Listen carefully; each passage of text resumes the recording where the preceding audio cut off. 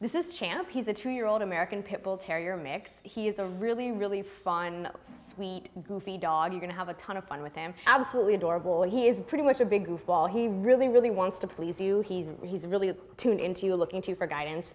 So he's really gonna be easy to train. It's gonna be great for a person who like likes working with dogs and teaching him stuff because he's really, really motivated to make you happy and he's so happy when he's made you happy. He knows a lot of his basic commands already. He knows sit and stay and shake and down. And like I said, he's so, so so motivated to make you happy and really tuned into you and looking to you for guidance. So he's really going to be fun that way.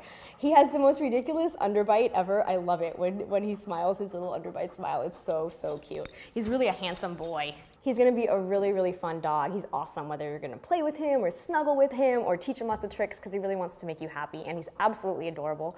Who could possibly resist that smile? Seriously, champ, you're awesome.